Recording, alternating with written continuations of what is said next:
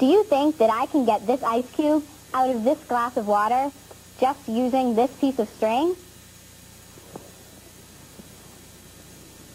Wow, this is really hard.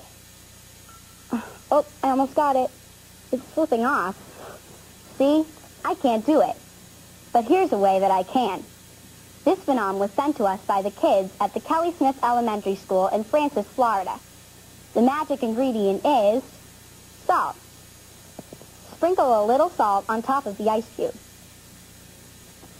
Then, drag your string across it. I'm going to put a little more salt on top. A little more. There we go. In about three minutes, the string will be attached to the ice cube. Let's see what happens. See the salt dissolving into the water? If you look closely, you can see that the top of the ice has changed.